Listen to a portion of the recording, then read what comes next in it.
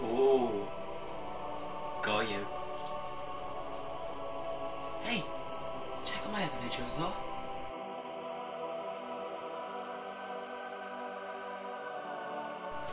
See you soon.